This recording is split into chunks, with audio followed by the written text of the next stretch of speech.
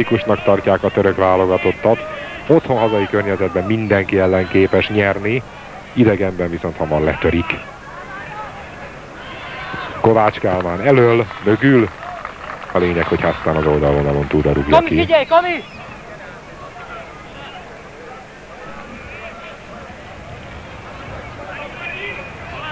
Kovács Kálmán bent középen. Kipri, Kovács, gól! Na ez gyorsan jött. A harmadik percben nagyon szép támadás volt, ahogy visszakanyarítják a labdát, és ahogy Kovács ott maradt bent, azért valljuk meg őszintén, hogy egy kicsit benne voltak a védők is, de azért annyira nem bánkódunk miatta. Itt a bedobás, itt kapja Kiprich, fölfelé húzza, visszakanyarítja és Kovács Kálmán. Szépen, kapu jobb oldalá. Kiprich elé hajszál pontos labda, Kiprich. Ez is jó, ott van középen Kozma, Kozma, Kozma, Kozma. 2 Hoho. A két percenként jönnek a gólok, kevés lesz a papíron fölírni. De azért jöhetnek két percenként. Kozma góljával és Kiprich második nagyszerű átadásával 2-0. Itt van Kiprich, és ott van Kozma.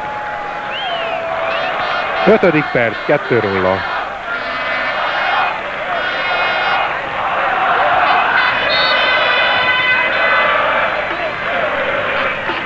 Ki szélese hazában, aki számított volna arra, hogy az ötödik percben már 2-0.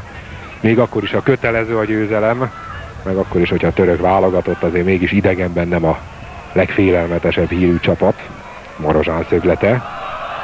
A rövidre 3 Kiprik megérdemelte, de még mennyire, hogy megérdemelte.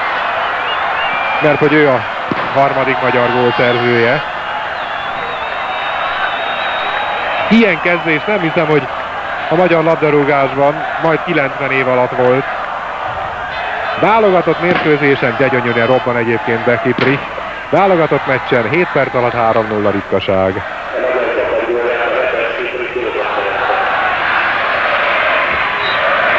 Azt hiszem háromszor jutottunk el a török kapuig, ebből több gólt nem lehet rúgni.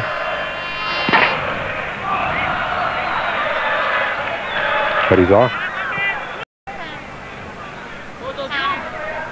Kozma.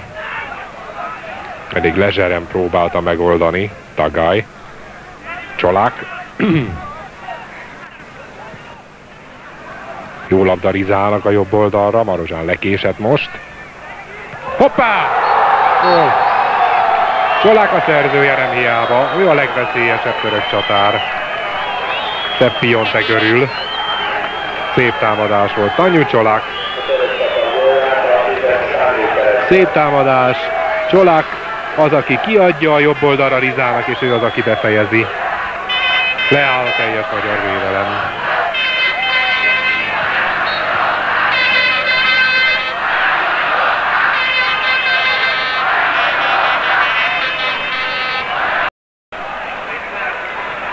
Már-már úgy éreztem, hogy Bücs Zsolt elveszi a labdát.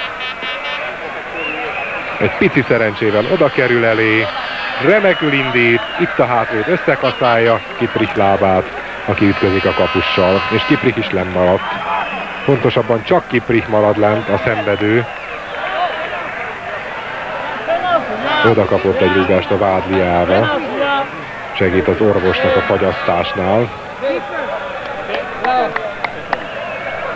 Gól, képes felállunk.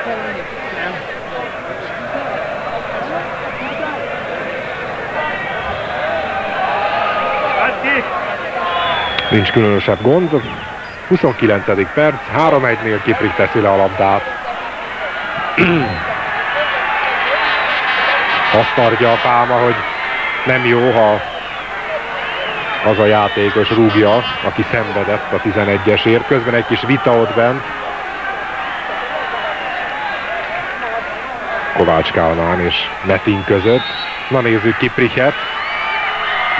Nem nagyon zavarta a közmondás. Ő közmondásos nyugalmával teszi be. 4-1 a magyar csapat javára. És itt megnyugodott. Azt hiszem Mészó is. Pengin elmegy jobbra, valamikor Novák Dezső rúgta így a 11-est.